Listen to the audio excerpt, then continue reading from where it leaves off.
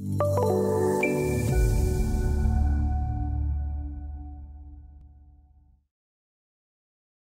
now let's take a look at a, a quick example. Divided highway situation, resurfacing, widening to the inside, overlay, milling. So this one is project uh, widening to the inside, has some new pavement construction here, new median barrier and everything. On the existing lanes over here, we're just going to be doing some milling and resurfacing. And our criteria is a one inch minimum overlay and two inches of maximum milling. We also need to correct the cross slopes and limit the side slope grading. We're just going to focus on the, the milling aspect and creating the adjusted vertical based on our one inch minimum overlay and our two inch maximum milling. Okay, the way we're going to set this up is we're just going to kind of take a look at the pavement here in this area just the pavement. We're not worried about the barrier or any of that. We're just going to focus on the resurfacing portion. You can see here I have a, an example of what that would look like. It's going to have a, basically a pavement template. Now we're going to use some of these settings in the dialog box to um, to make the adjustment. Okay, so let's take a look. So again, working inside my geometry file has my horizontal vertical geometry, has my terrain model attached. Here's my existing ground. The existing ground is controlling my template and my corridor. Again, this corridor is attached to my geometry file. Okay, so let's go ahead and open up the tool again. And we're going to locate our corridor and we're going to define some overlay settings for this project based on our design criteria. Go ahead and select our corridor. We're going to give this vertical a name one inch minimum overlay, two inch milling. We're just going to step through the prompts, key in our start and stop stations. I'm going to set the backbone at zero. Don't want it to raise it up. Based the additional to it. So we're going to set the minimum overlay to the one inch minimum overlay. We're going to use maximum milling. So I'm going to mill out two inches. We're going to set that to maximum of two inches. I'll go through the prompt.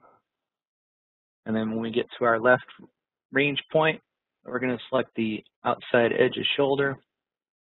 And we're going to select the other edge of pavement near the center line. Okay, so that's going to define our range of where it's going to be checking template points in the, in the existing ground. My existing ground range is going to match where the template point range is. We're also going to have it examine all the cross-section points between there. Okay, so then once we do that, just left click through the prompts. Uh, it's going to go ahead and do some processing and define the adjusted vertical for us, just like we did in the other exercise.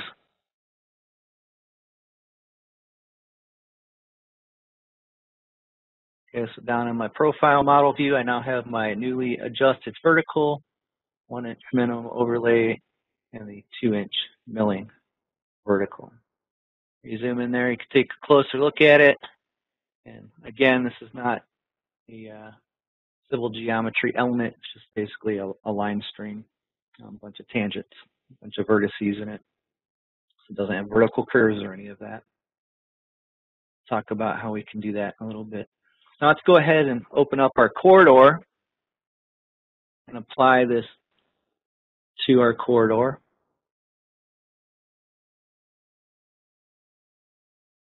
And before we apply it to our corridor, I want to take a look at our, our quantities. I want to take a look at the current milling quantity situation based on if we just have this thing following along the existing ground line. Sometimes you need to optimize your quantities or optimize your cost. So in this case, we're following along the existing ground line. I want to take a look at the uh, the milling quantities when we're using just the existing ground profile. Let's go over the element component quantities and we can take a look at a bunch of the quantities here and you can see that our milling quantities are there, overlay quantities, there are any. All that stuff will show up in this dialog box. We can take a look at the estimated cost for the project based on these various profiles that we assign to our corridors. I'm going to go ahead and change the vertical. Let's go and apply the adjusted vertical, the one inch minimum overlay with a two inch milling. And I go ahead and adjust our corridor for us. So raise it up a little bit. Okay, so you'll see the template raise up a little bit. You also see there's a little bit of a overbuild or leveling that needs to happen because of that adjustment. If we go back and look at some critical areas, maybe take a look at some areas where we have full super or some areas that we need to pay attention to. I'm going to come over here to my first uh, horizontal curve.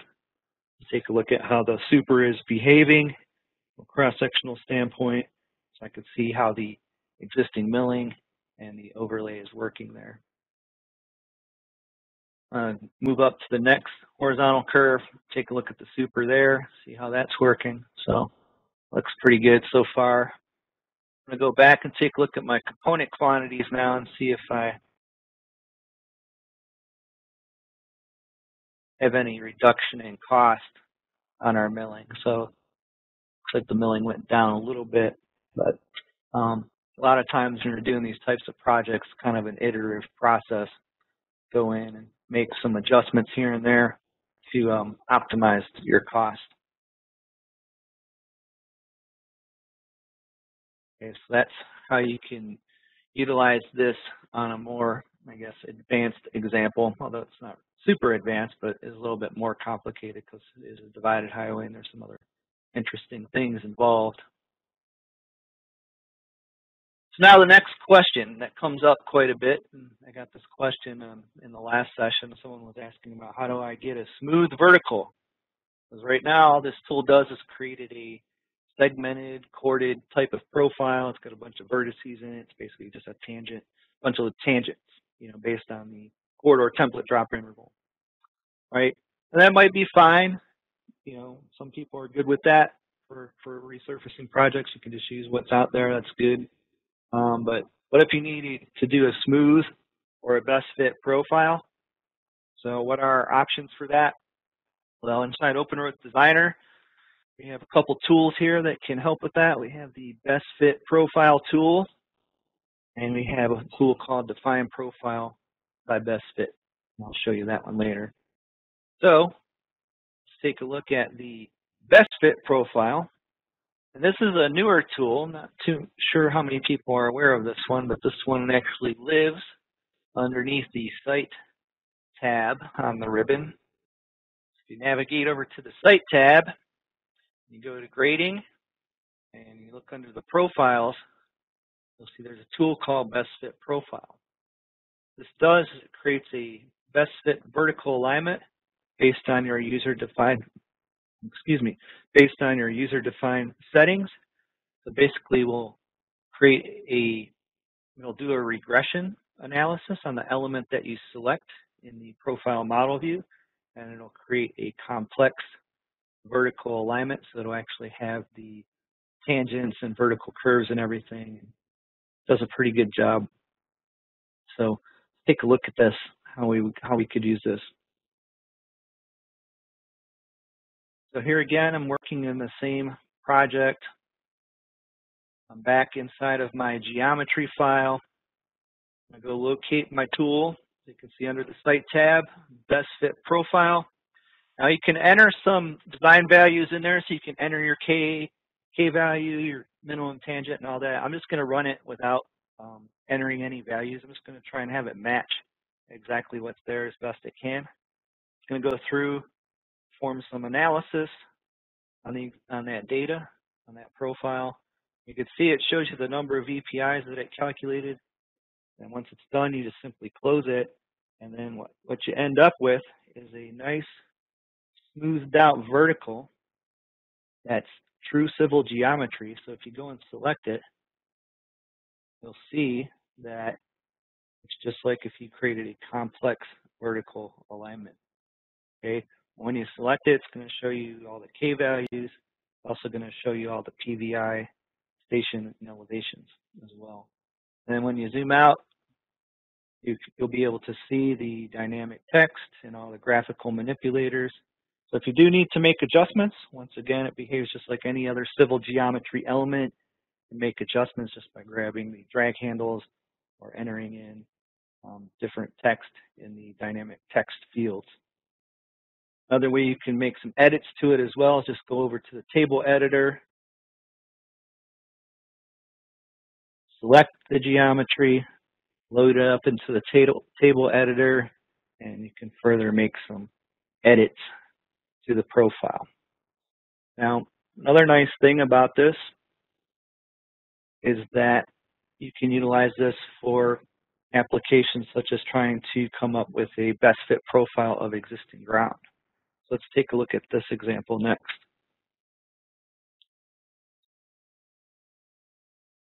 So now let's say we have a scenario where we have an existing ground profile and let's just forget about vertical overlay adjustments for now. Let's just talk about, let's try and match this existing ground profile as best we can. So you can use this tool to do that as well. So let's take a look.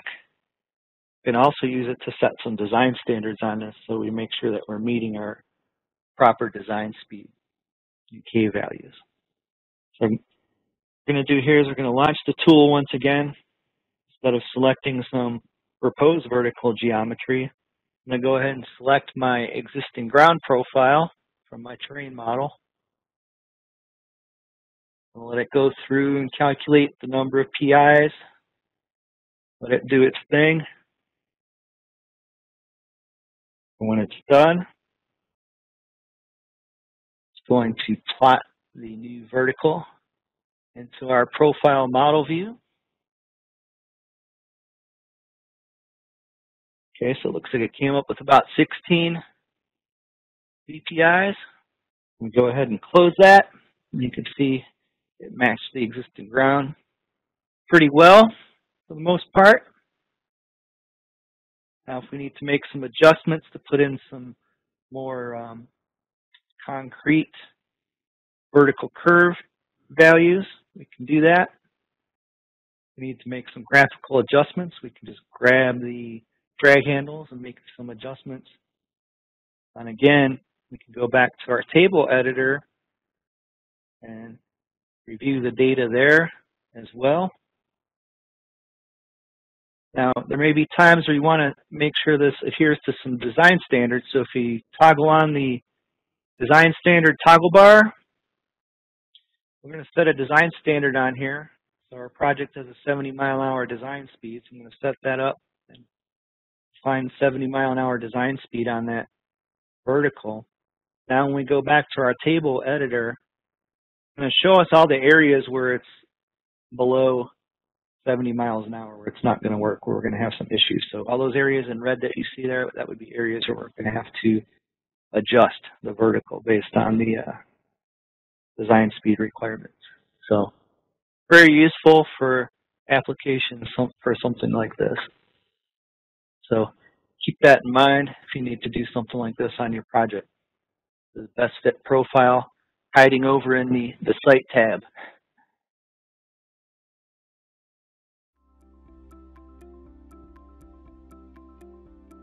If you found this video helpful, please give it a like. If you want to see more such series, consider subscribing to our channel. Thank you and see you next time.